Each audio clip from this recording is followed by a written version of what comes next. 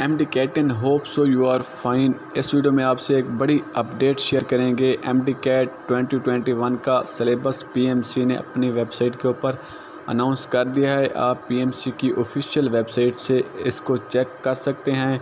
इस दफ़ा सिलेबस और टेस्ट फार्मेट में बहुत ज़्यादा चेंजें की गई हैं। अगर टेस्ट फार्मेट की बात करें टेस्ट पैटर्न की बात करें तो इस दफ़ा एम की वेटेज को चेंज किया गया है। इस दफ़ा 210 एम होंगे टोटल, जिसमें 68 एम होंगे, बायोलॉजी के, फ़िज़िक्स के 56 होंगे, केमिस्ट्री के भी 56 होंगे 20 एम होंगे इंग्लिश के और 10 एम होंगे लॉजिकल रीजनिंग के।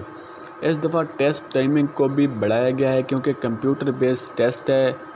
इस दफ़ा टेस्ट टाइमिंग तीन घंटे और तीस मिनट है। ये काम पीएमसी ने अच्छा किया है। कोई नेगेटिव मार्किंग नहीं होगी इस दफ़ा भी।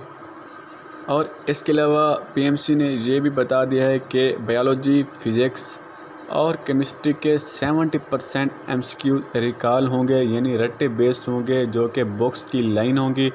और 30 परसेंट जो एम होंगे, वो कंसेप्चुअल होंगे।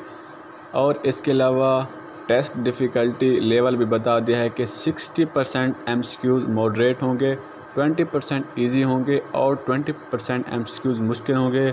बाकी आप लोग भी सिलेबस देख लें, हम भी देख लेते हैं एक दफ़ा। फिर सिलेबस के बारे में आप लोगों से डिस्कस करेंगे। वीडियो अच्छी लगे तो लाइक करें और वीडियो को शेयर करें, चैनल को सब्सक्राइब करें। अल्लाह हाफिज़।